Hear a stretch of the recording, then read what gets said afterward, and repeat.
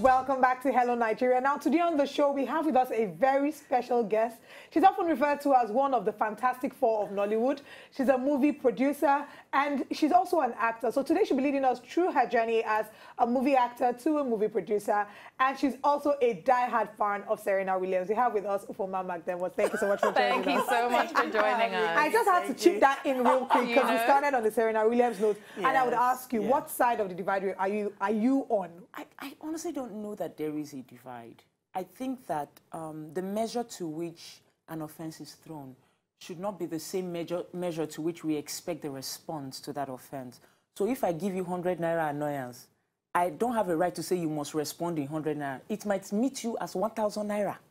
Do you understand? So I think that um, if, if, if you look at the whole, everything that happened during that match, and considering that it was a championship match, I really think that on discretion, the umpire could have done a lot of things more differently.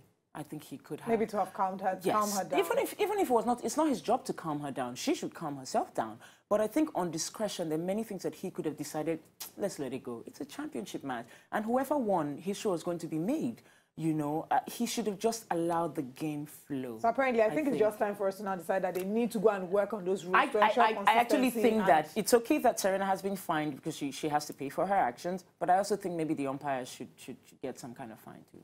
Okay. I think so. Interesting. I like the fact that you're also wearing monochrome black and white. I know, like, right? Like, no, we're just twinning on but nice. thank you once again so much thank for being you. here. And we thank want to you. find out all about your journey today. Yes. Now, I understand that you have shifted over time from being a main stage actor yes. to being a huge producer and filmmaker. Yes. Tell us about that journey. Um, well, so I started acting in 2004 and for me, what, what I realized, and every time I hear people say, oh, you know, um, a lot of actors are turning producer, I think that the biggest way that you can give back to the industry that has made you a brand, a name, or what have you, is to become a producer. Because at that point, you become an employer of labor.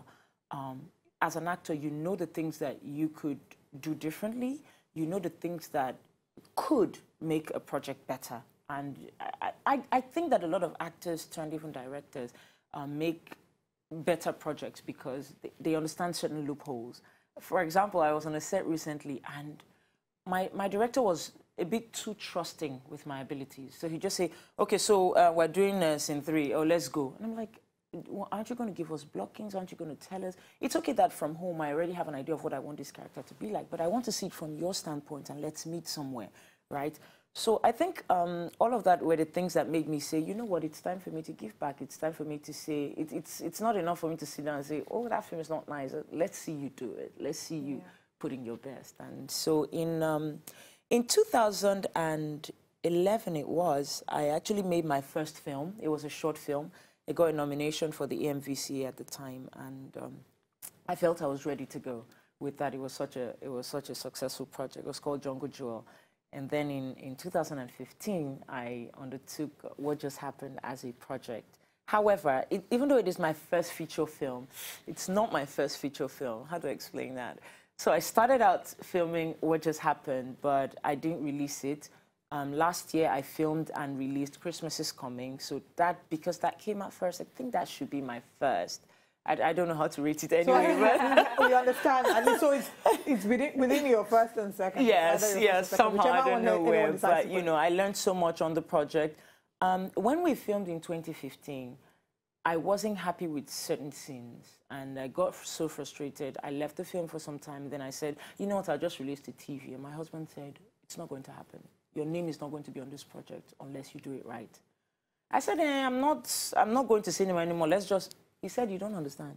Your name will not be on the project. If you want your name on the project, you've got to do it right. So, you know, we had to drop another budget. We shot 2015, 2016, and 2017. Yeah. For this film? Yes. Okay, we'll so. still come to talk about this film, but I want to take you back to something you said. Okay. That the best way a person who's been given a name and a stage by this industry, the best way to pay back is to create that same platform for other people. Yep. Now, we're seeing lots of actors going into film production. In the same breath, Nollywood has done beautifully. I think a fantastic shout out to people who are putting Nollywood on the international map, and more recently, Genevieve Nnaji, who did that with her directorial yeah. debut. But some people have argued that our focus in Nollywood I'm saying ah because I'm considering myself. You now. are actually. I was going to. I was going to attack him. I'm glad you did it yourself. So uh, our focus in Nollywood is churning out quality, quantity as opposed to quality. So everybody thinks, oh, I'm now an actor. Mm. I have. I want to. Pro- I mean, I Oliver Modi want to produce a film something. There's nothing wrong so everybody just thinks, why not focus on one, harness your talents there. If you decide you want to switch, you go and get professional training on how you can do the other. So what's your take on that? Um, well? First of all, let me, let me start back. My brain worked rested because I'm going to start asking you about the questions. First of all, talking about training, I think a lot of us miss training. When we say training, everybody thinks of an institution, a building, right? So you can study and you can understudy. People need to understand that. Um, um, somebody like a Quentin Tarantino is one of the greatest producer directors today, and he understudied right? So it's possible. I'm, I, don't, I don't have a problem with education. If I have so too many certificates to my name to even mistalk about education, I think it's important. But you need to understand that what we do is very skilled, very hands-on, very practical. So your, your book education is one thing. You've got to get practical education. So there are people who have understudied and they know what should be done. Um, secondly, talking about staying in, in, in uh, being in one field and harnessing try to understand how much of a team sport filmmaking is.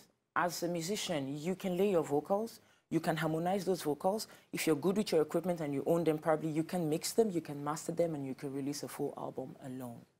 You can't do it with filmmaking. It's teamwork. And the truth is, I personally say that it's not enough to keep shouting, oh, we don't have good PMs, we don't have, we don't have. You get trained and get into that field. So it's one thing for you to complain and you see a film and you say, there's something wrong with the writing. Go and get training as a writer and let's see how much of a difference your own little you know, would bring into the game. And that's why I encourage actors who want to produce to get into it in two ways. First of all, being a producer makes you a better actor. I've seen actors who I've been on projects with as a producer and they stress me out. They want to demand for this and demand for that and demand for this. And then they make their film. Two people, it has happened with two people. They call me and they say, Ifuoma, I'm really sorry. I realize now that I was just being silly, I was being a child. It comes with the experience. You've got to know what it takes to put that whole project together to behave yourself on set. You know, some actors would need to go through that process to behave themselves. Secondly, like I said, there, I don't think that there's too much of employment of labor. If I'm producing, you're producing, it means that we're employing three different pro production managers. We've given three families food, you know. So um, there's no way on earth that I'm going to tell a producer, an actor, to not produce. No, I think I think more is more is good. But you've basically done everything that you said you would do to make your life easier and to give back to such an amazing and phenomenal industry that yes, we have I here have. in Nigeria I today. Have. Now, I'm so excited for us to speak about your latest film coming yeah. out. So let's check out that trailer. And of course, as soon as we are back, Ifuoma is still going to be on set with Olive and I, and we're going to be discussing this new movie. Check it out.